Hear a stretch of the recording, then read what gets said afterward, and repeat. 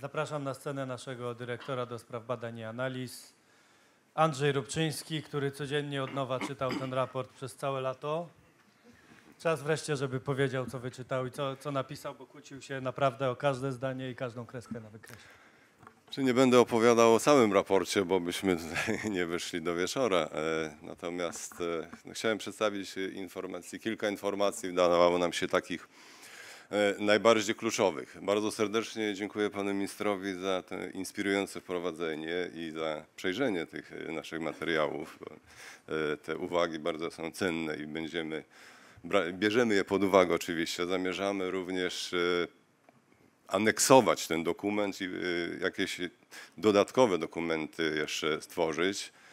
I na pewno będziemy starali się patrzeć na to, o tych, o tych zjawiskach, o których pan minister powiedział. Y, I, i zgadzamy się z tym, że, mm, że to nie jest takie proste. Przy- y, Przedstawiamy tutaj Państwu cztery scenariusze. Cztery scenariusze, czyli węglowy, mm, zdywersyfikowany z energią jądrową, bez energetyki jądrowej oraz scenariusz ozowski, o czym już pan minister był uprzejmy powiedzieć. Nie traktujemy tego jako e, konkursu na wybór najlepszego scenariusza na rozwój krajowej energetyki, e, bo nie da się powiedzieć, kto jest zwycięzcą, jaki jest scenariusz, który scenariusz jest najlepszy. E, Miejmy nadzieję, mamy taką nadzieję, że lektura naszego dokumentu, jak i prezentacja, którą przedstawię, pozwoli Państwu wybrać, jaka droga może być obrana, jaka, czy który scenariusz kwalifikuje się do tego, aby być uznanym za ten wiodący, a zapewne ten wiodący to będzie leżał gdzieś po środku pomiędzy tymi, które tutaj są zarysowane, ponieważ gama możliwości jest praktycznie nieskończona i życie będzie to weryfikowało. Dlatego też e, ważne jest, aby patrzeć e, na te różne możliwości i, i patrzeć w długim horyzoncie czasowym, o czym będę za chwilę mówił. Opracowaliśmy ten dokument ze cztery scenariusze, aby wesprzeć e, dyskusję o polskiej polityce energetycznej w długiej perspektywie do roku 50. Przez, e, chcieliśmy wyliczyć, jakie są skutki ekonomiczne, społeczne, gospodarcze e, właśnie tych zaproponowanych, jednych z wielu, z gamy wielu możliwych scenariuszy, które mm, mogą mieć miejsce. Chcielibyśmy, tak jak powiedziałem, żeby to był dokumentem, był wsparciem w dyskusji o przyszłej polityce energetycznej.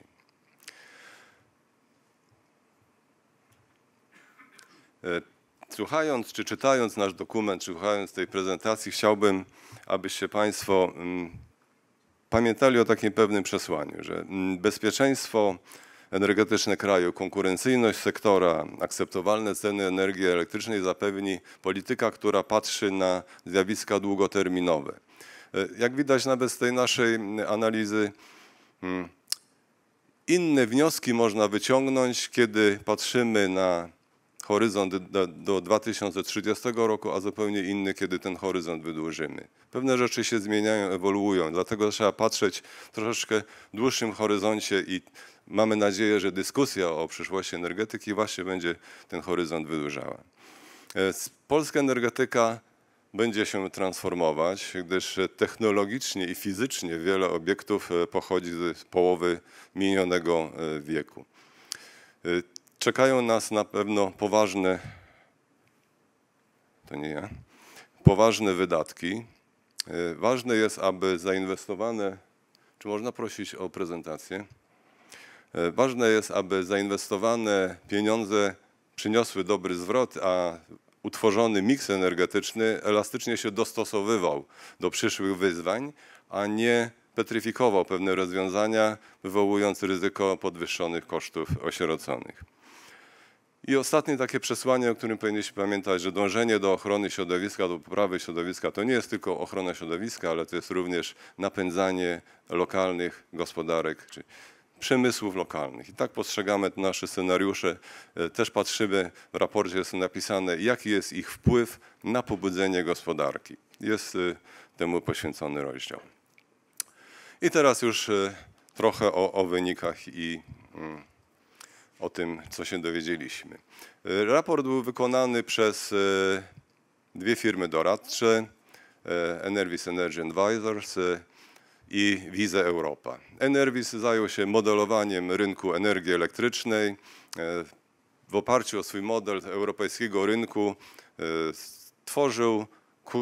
e, miks energetyczny i dobierał godzinową pracę jednostek energetycznych e, w tej analizie optymalizacyjnej.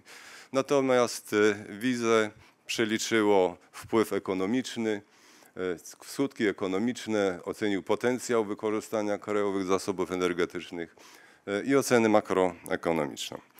Podstawowe założenia, tu już o czym pan minister był uprzejmy wspomnieć, założyliśmy zużycie energii elektrycznej na poziomie 220 terawatogodzin.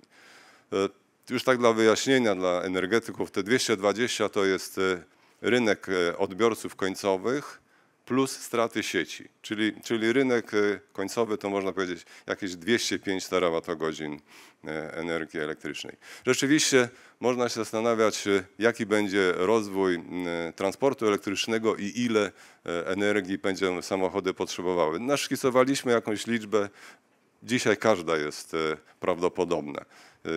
Chcieliśmy pokazać e, spodziewany poziom zapotrzebowania na energię i do niego dopasować bazę produkcyjną i pokazać skutki, jakie, jakie może e, wywołać taki poziom zapotrzebowania i taka moc, jak jest tutaj pokazana, 40 gigawatów e, mocy szczytowej w roku 50. Założyliśmy, tak jak zakłada również PSA, 9% e, rezerwy mocy w jednostkach zlokalizowanych na terenie kraju i 5 gigawatów e, mocy, które teraz się budują, będzie oczywiście wykorzystywane. Założenia e, kosztowe, Międzynarodowa Agencja Energii, scenariusz referencyjny, założenia są jednakowe, jednakowe dla wszystkich scenariuszy. Dzięki temu można porównać wyniki, ponieważ wartości dane wsadowe są e, jednakowe we wszystkich wariantach. E, Dla osób, które robią fotografię, e, spieszę wyjaśnić, nie, nic się nie stało, proszę bardzo. E, Natomiast będzie ta prezentacja wywieszona naszej, na naszej stronie, także spokojnie proszę słuchać i nie trzeba notować. Skoncentrujmy się na głównych wątkach i przesłaniach. A teraz jak wyglądają te scenariusze z perspektywy mocy zainstalowanych i produkcji? Scenariusz węglowy zakłada, no, zakłada utrzymanie polskiej energetyki jako energetyki wykorzystującej przede wszystkim paliwo węglowe. Jeżeli byśmy chcieli, aby tak było, aby w roku 50 80% energii pochodziło e, z elektrowni węglowych e, i brunatnych, należy wybudować dodatkowe kopalnie odkrywkowe e, węgla brunatnego, wybudować dodatkowe elektrownie, dodatkowe elektrownie e, na węgiel kamienny mocy 10 gigawatów. Wzrośnie zapewne w procesie naturalnym trochę udział gazów e, transformowanych, przebudowanych elektrociepłowniach, no i trochę wzrośnie OZE. Tak mógłby wyglądać scenariusz e, bardzo węglowy, gdyż zakładam tutaj, tak jak powiedziałem, 80% energii z węgla e, w roku 50. Mamy jednak świadomość e, potwierdzoną analizami ekonomicznymi, że uruchamianie jednostek węglowych po roku 30 w oparciu o założenia, jeszcze raz nawiążę do, do słów pana, pana ministra, w oparciu o przyjęte dzisiaj założenia, które oczywiście będą się zmieniały, ale przy przyjętych założeniach analizy wskazują, że uruchamianie jednostek e, węglowych po roku 30 nie będzie opłacalne ekonomicznie. E, Nie uzyska się zwrotu z kapitału. Inwestor nie odzyska tego. Może ktoś mu zafunduje ten zwrot z kapitału, ale on jako inwestor biznesu e, nie zrobi. Dlatego też mając świadomość wyzwań ekonomicznych, jeżeli chodzi o budowę nowych jednostek po roku 30, zaproponowaliśmy rozważenie scenariusza odnawialnego, w którym w miejsce elektrowni na węgiel brunatny pojawia się energetyka jądrowa, praktycznie zastępuje e, produkcyjnie, mocowo jednostki, jednostki na węgiel brunatny. Węgiel e, kamienny, jedno, naj, najlepsze jednostki utrzymują pracę do roku 50, wzrasta zużycie gazu i energii odnawialnej. Wiemy również, że budowa elektrowni jądrowej jest e, dużym wyzwaniem, obarczona wieloma ryzykami, problemami inżynierii finansowej, zorganizowania finansami. Czytamy o tym, wszyscy wiemy, wiemy, jak duży jest to problem. W związku z tym postanowiliśmy również przeliczyć wariant zdywersyfikowany, ale bez e, energetyki jądrowej, natomiast bazujący na węglu, e, gazie i energii odnawialnej. Tak jak tu jest w tym pokazane. I ostatni scenariusz, e, którego skutki chcieliśmy przeanalizować, jest to scenariusz e, odnawialny. Jeżeli postawilibyśmy sobie cele, że od roku 50 w Polsce nie ma, nie jest wykorzystywana energetyka węglowa, a elektrownie węglowe mogły, te, które jeszcze w poprzednim scenari- scenariuszu y, mogłyby jeszcze, czy pracowały w naszych założeniach, tutaj mogłyby stanowić rezerwę y, systemową, to scenariusz taki odnawialny mógłby wyglądać właśnie tak. 75%, 3 czwarcie energii pochodziłoby z źródeł, ze źródeł odnawialnych, e, natomiast 1 czwarta z elektrociepłowni, elektrowni gazowych. Ja za chwilę się zatrzymam, jako że wyrosłem e, w elektrociepłownictwie, więc muszę dwa słowa o elektrociepłowniach e, powiedzieć. Założyliśmy tutaj w tym scenariuszu wykorzystanie potencjału rozwoju kogeneracji. E, Uczelnia, na której się znajdujemy, też robiła te analizy, też bazowałem na tej wiedzy i uważam, że e, zaproponowany, pokazany potencjał rozwoju kogeneracji jest e, wykonalny i tyle, tyle mocy w elektrociepłowniach może być zainstalowane. 20 gigawatów w elektrociepłowniach gazowych i pracujących na biotechnologiach. Taka moc może być osiągnięta. Ja nie mówię, że te elektrociepłownie będą miały łatwe życie. E, W materiale Państwo zobaczycie, jak one będą pracowały e, w tym scenariuszu. E, Będą pracowały w systemie start-stop. Można powiedzieć, model tak wymyślił, to jest niewykonalne. No ale dzisiaj życie pokazuje przykłady duńskie, że to jest wykonalne i że tak elektrociepłownie chcąc egzystować na rynku i wspierać rynek zarówno ciepłowniczy, jak i elektryczny, właśnie tak pracują. Więc e, na pewno zmieni się model technologiczny, ale e, wydaje nam się, że jest to optymalny kierunek, elektrociepłownie to jednak jest optymalne wykorzystanie zasobów energii. I tu jeszcze zwracam uwagę, że analizy wskazują, że 60% gazu w tym wariancie jest wykorzystywane właśnie e, w elektrociepłowniach produkujących równocześnie prąd i ciepło systemowe.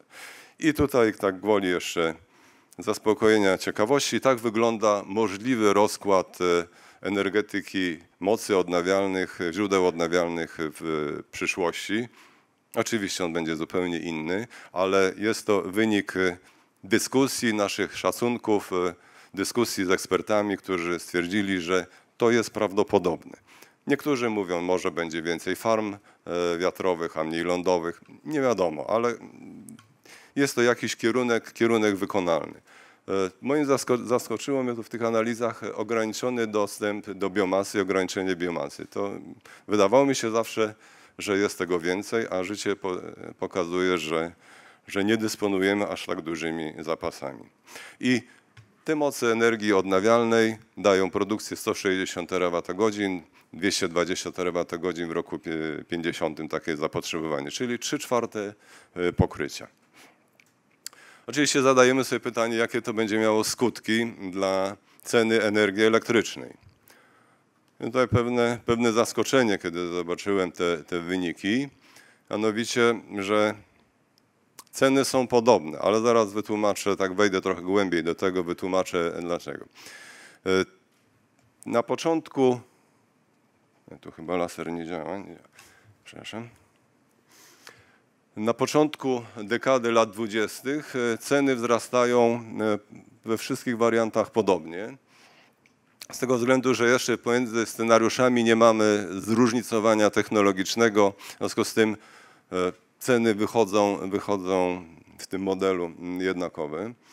Może nas przerażać ten, ten wzrost intensywny, który jest pochodną przyszłych założeń cen e, CO2 i cen paliw. Ale zajrzałem jeszcze wczoraj, żeby się przygotowując się do tego spotkania, do wydawnictwa ARE z roku 2000. Ciekaw jestem, kto z Państwa pamięta, jaka była taryfa G w roku 2000.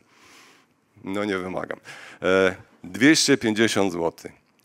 Dzisiaj jest 500, czyli przez e, 16 lat mamy podwojenie dla odbiorcy końcowego ceny energii elektrycznej. W związku z tym zachodzą pewne procesy i patrząc na taki wykres nie przerażajmy się, że idzie jakaś e, ruina gospodarcza. Po prostu my się bogacimy, ceny rosną, są procesy nieuchronne i tak, tak to wygląda. E, I teraz e, lata 30.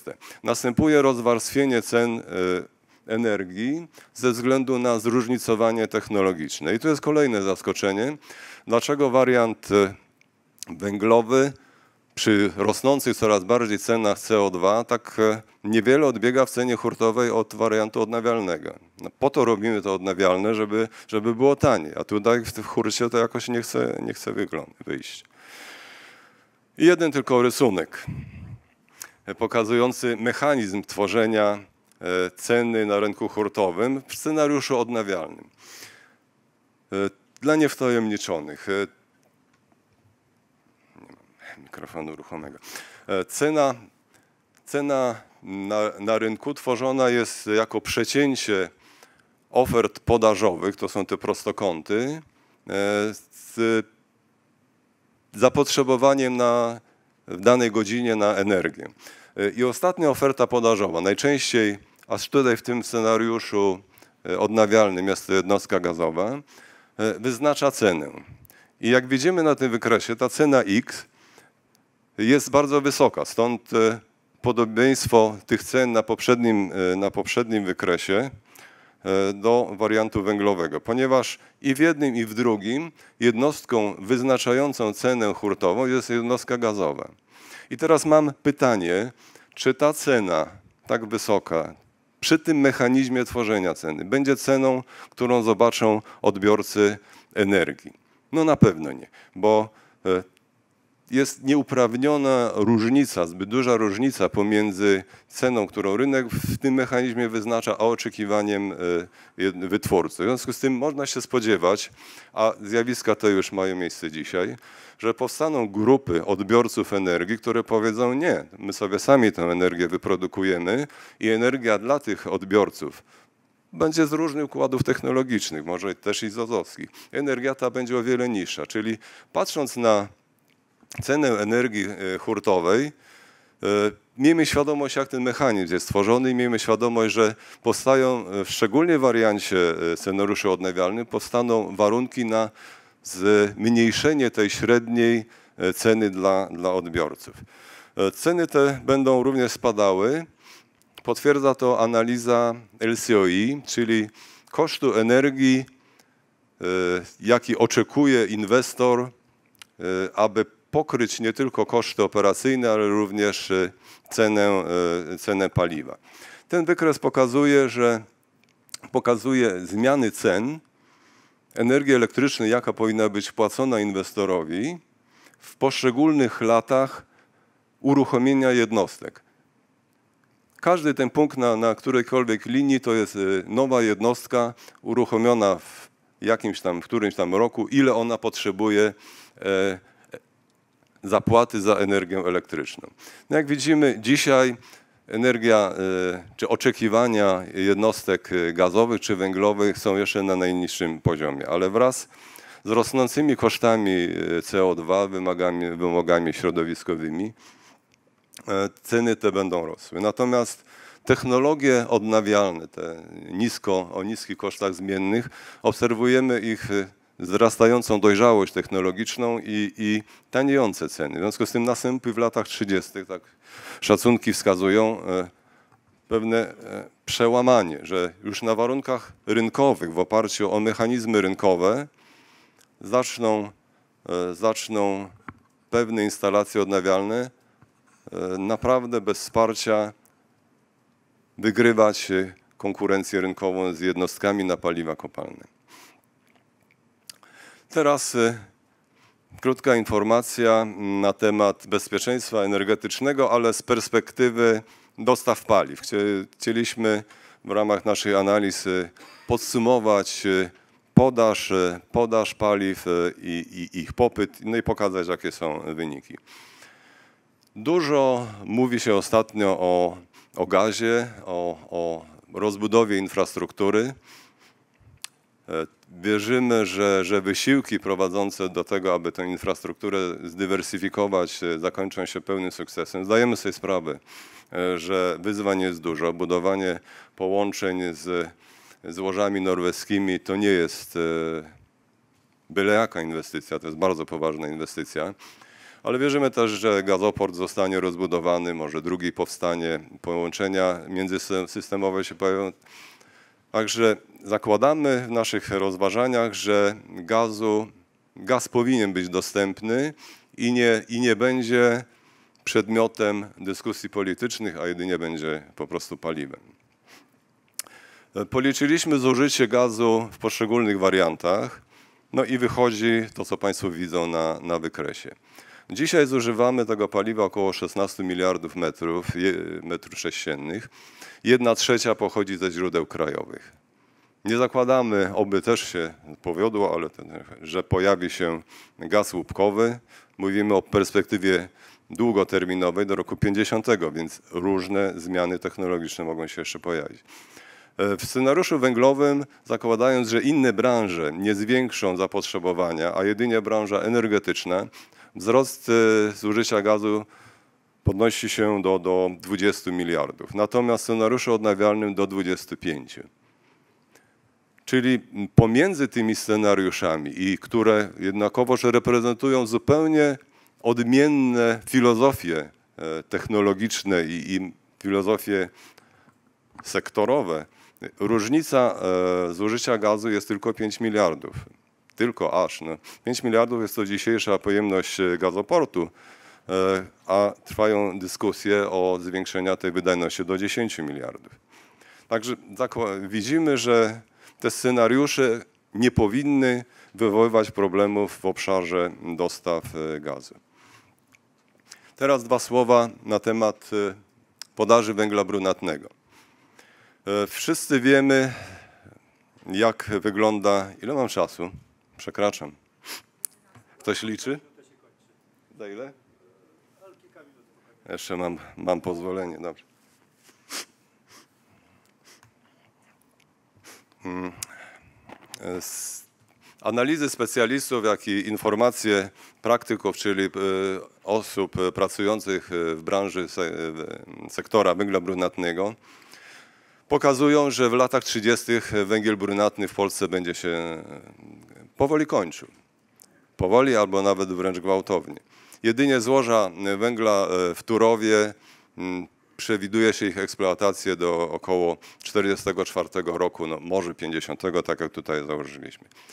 Czyli chcąc e, utrzymać produkcję na węglu ka- brunatnym, tak założyliśmy w naszym wariancie z scenariuszu węglowym, należy wybudować dwie kopalnie węgla brunatnego i towarzyszące im e, elektrownie. To jest założenie podstawowe scenariuszu węglowym. E, Mamy też świadomość ryzyk, e, jakie się pojawiają przy takim założeniu. Elektrownia na węgiel brunatny, czy kopalnia na węgiel brunatny plus elektrownia to jest wydatek około 20-22 miliardów złotych. To jest wydatek, który powinien być e, poniesiony w bardzo określonym okresie, okresie czasu.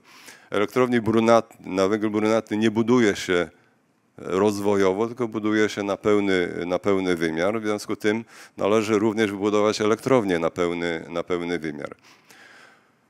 I czas pracy, czas budowy tych elektrowni i kopalni to jest jakieś 10 lat, czyli doszłoby do uruchomienia e, tego kombinatu, tych kombinatów w latach 30., 40., w sytuacji, kiedy analizy ekonomiczne wskazują, że nie uzyska się zwrotu zainwestowanego kapitału. Jednocześnie zakłada się, żeby zwrot uzyskać, że one będą pracowały w podstawie obciążenia. E, W zderzeniu z e, konkurującymi jednostkami e, ze źródłami odnawialnymi może to być trudne, utrzymanie e, pracy w podstawie obciążenia. W związku z tym istnieje poważne ryzyko, utrzymania zdolności wytwórczej na węglu brunatnym na niezmienionym poziomie. Jeżeli chodzi o węgiel kamienny, dokonaliśmy analizy podaży w istniejących e, kopalniach. Linia szarna przedstawia, e, jak, jak e, mo, może wyglądać w naszych analizach scenariusz dostaw gazu, e, węgla w obecnych kopalniach krajowych. Zakładamy również możliwość wybudowania nowych kopalń. Wydaje się większym, większym prawdopodobieństwem jest wybudowanie kopalń w Lubelskiem. Tam infrastruktura jest bardziej dogodna do budowy e, tego typu, do robienia tego typu inwestycji. Założyliśmy również na Śląsku, ale tam chyba pojawiają się pewne opory i trudności. E, Przy tym założeniu wydajność e, krajowych kopalń węgla kamiennego osiąga w 50 roku 32 miliony, czyli jest to połowa dzisiejszej e, produkcji węgla energetycznego. Mm. Wydaje nam się, że, że utrzymanie produkcji węgla na obecnym poziomie obarczone jest wieloma ryzykami. Przede wszystkim mamy trudności geologiczne. Nasz, pokłady naszego krajowego węgla, wszyscy wiemy, y, są coraz głębsze, więc wymaga to nowych technologii, lepszych technologii. A jednocześnie, jeżeli chcemy być konkurencyjni w dostawach na rynek krajowy, musimy zwiększyć wydajność. Wydajność na pracownika wiąże się to z mechanizacją, ale wiąże się to również z tym, że będziemy sięgać po tylko łatwiejsze e, zasoby, te, które są tańsze. W związku z tym Chyba nieuniknionym jest spadek e, produkcji krajowego węgla do poziomu 32 miliony ton. I teraz nałożyliśmy zapotrzebowanie w scenariuszu węglowym na właśnie krajową podaż e, węgla. Jak widać na tym rysunku, na tym wykresie, zrobiliśmy takie dwie opcje. Opcja pierwsza to jest wybudowanie wszystkich kopalń, o których mówiłem, i zapotrzebowanie w scenariuszu węglowym na paliwo, na węgiel brunatny i kamienny. Z bilansu energetycznego wynika, że około 21 milionów ton węgla, czyli 40% będzie musiało być importowane. Zrobiliśmy też opcję, opcję drugą, że zostaje wybudowana tylko kopalnia w Lubelskiem, które uważamy, że są e, bardziej prawdopodobne. Wtedy 70% zapotrzebowania w roku 50 na węgiel e, będzie pochodziło e, z importu, czyli to jest jakieś 40 milionów ton. To są szacunki, ale to, to wyznacza, no, znaczy jest to sygnał do podejmowania jakichś decyzji kierunkowych, co w takim razie robimy, jeżeli te szacunki mają jakieś znamiona wiarygodności. Bo to determinuje kierunki polityki energetycznej, kierunki myślenia. W co wchodzimy? Czy kopiemy głębiej, czy szukamy innych rozwiązań, innych technologii. E, Koszty energii. Mm, Zrobiliśmy agregację e, wszystkich wydatków związanych z energią, produkcją energii. Nie ma tutaj dystrybucji, nie ma tutaj kosztów e, związanych z modernizacją, dostosowaniem sieci. Zdajemy sobie sprawę, że jest to spore ograniczenie i, i niedoskonałość tego, tych wyników, bo pokazujemy tylko jedną stronę medalu, ale też wychodzimy z założenia, że każdy scenariusz będzie wymagał dostosowania i modernizacji sieci. Czy scenariusz bardzo zdywersyfikowany i czy scenariusz z budową elektrowni jądrowej, gdzie moce będą w nowych miejscach i bardzo e, skupione. Każdy z tych scenariuszy będzie wy, wymagał nowych inwestycji po stronie sieciowej. Przykład e, uruchomienie bloku w Kozienicach dzisiaj bez e, linii Kozienice-Ołtarzew elektrownia praktycznie nie wyprowadzi w pełni swojej mocy. W związku z tym każdy scenariusz musi ponieść koszty e, związane z infrastrukturą. Mogą one być na porównywalnym poziomie. Co teraz widzimy tutaj e, w tych agregowanych wydatkach? Że one są podobne. Czyli nie wiemy, tak patrząc na sumę kosztów, e, wiemy jedno, że trzeba będzie wydać dość duże kwoty, natomiast nie pojawia się jakaś e, wskazówka, o, to będzie najtańsze. Przy założeniach, które tu przyjęliśmy, koszty są podobne. Natomiast widać wewnętrzny, e, zmiany w wewnętrznym rozkładzie. E, Wariant odnawialny czyli ostatni słupek, ma większą ilość wydatków kapeksowych, większą, ilo- większą koszty stałych niż na przykład wariant węglowy. Według analiz makroekonomicznych e, wychodzi, że ta rozdrobniona, mniejsza energetyka w tym wariancie odnawialnym może być silniejszym bodźcem stymulującym rozwój lokalnego przemysłu, krajowego przemysłu, czyli odciska się lepiej na rozwoju gospodarczym. No to jest plus dla tego, dla tego scenariusza.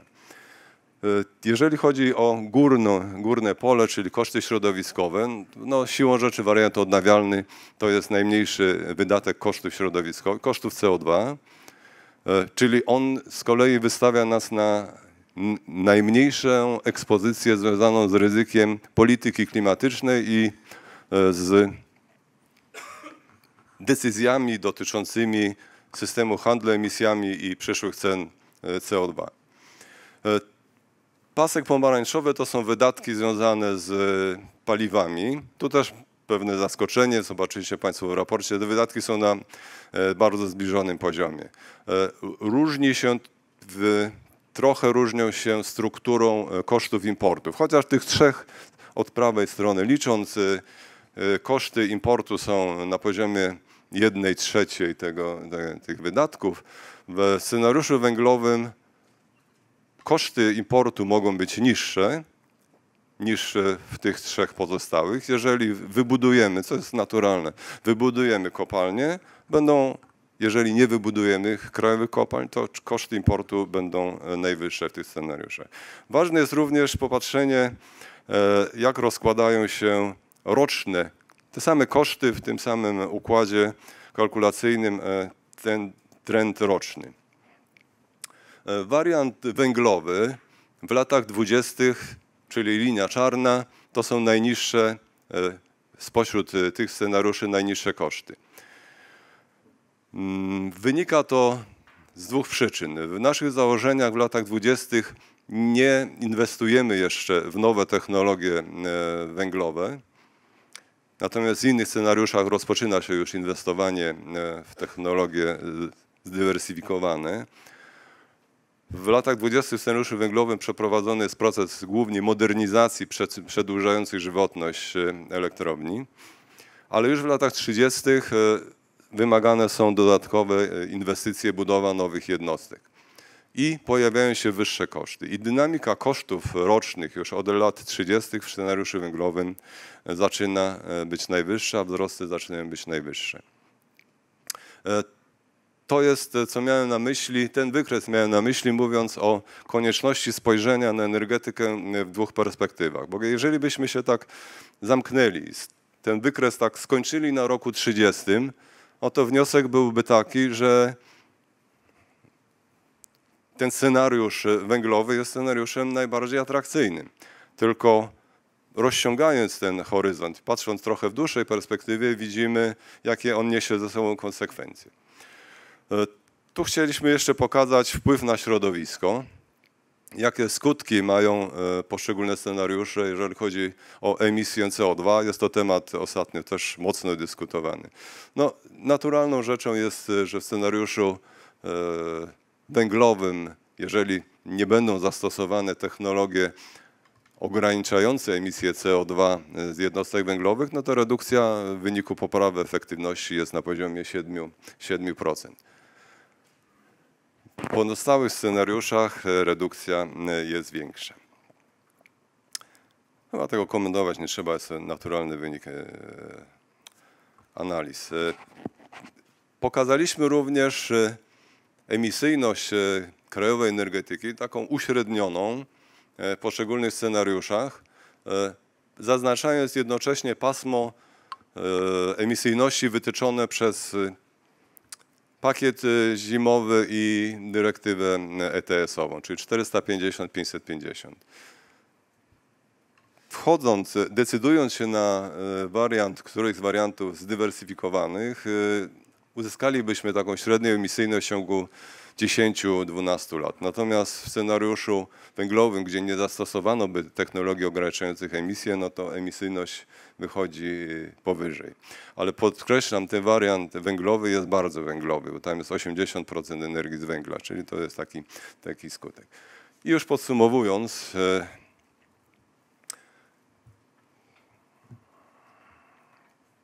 To, co Państwo widzieli, łączne koszty wytwarzania w scenariuszach są podobne.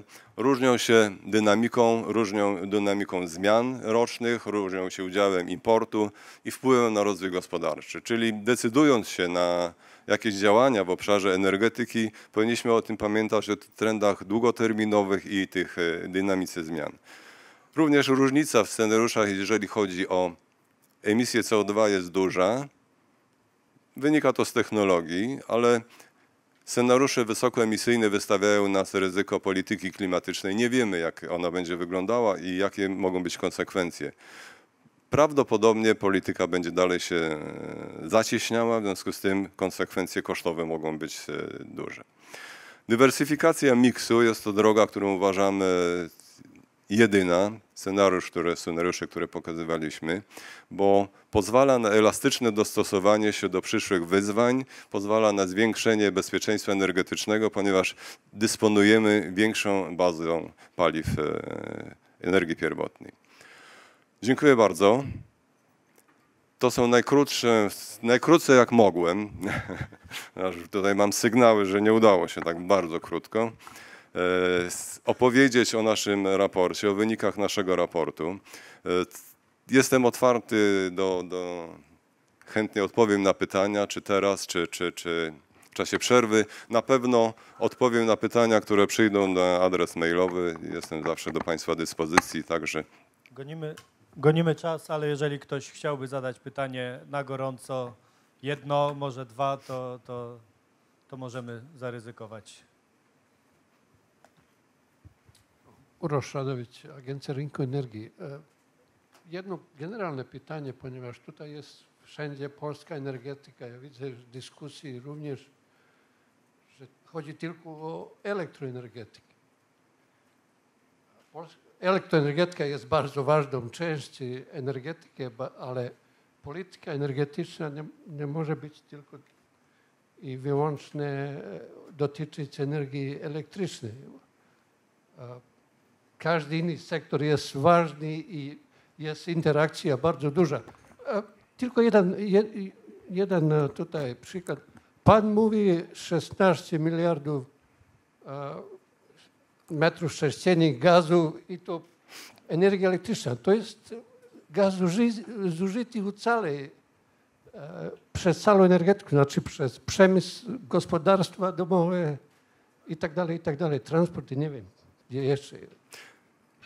zgadzam się, zgadzam się z Panem. Znaczy, po prostu ta, taki tytuł tej, tej konferencji to nie jest e, odpowiedni tytuł. Znaczy, To było, to było podejście e, dosyć e, tradycyjne od strony wytwórca, który musi dostarczyć określoną ilość energii.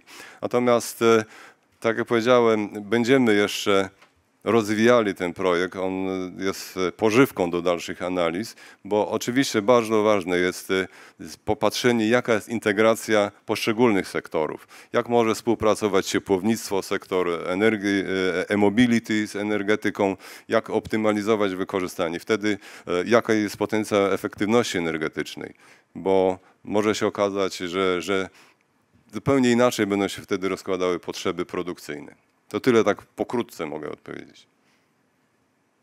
To? E, Ja również dziękuję. dziękujemy. Zapraszamy do kontaktu wszystkich.